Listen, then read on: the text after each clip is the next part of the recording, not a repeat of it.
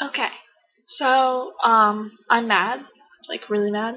I know I'm mad a lot, but some jackass decided it was funny to steal the magnets off of my car.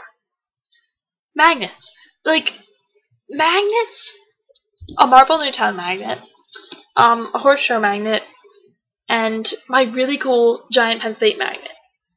Like, okay, I understand the Penn State one. But I don't understand. Who wants a Marple Newtown magnet?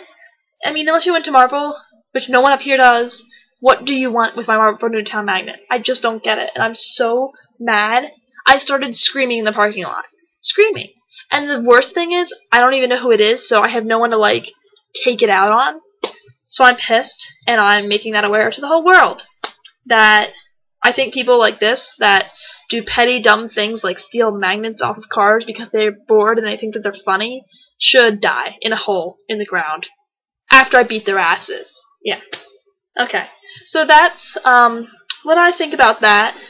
And if the person who did this ever watches this video, which probably won't happen, but just I just wanted to say um, I'm sorry your life is so sad that that's what you could do.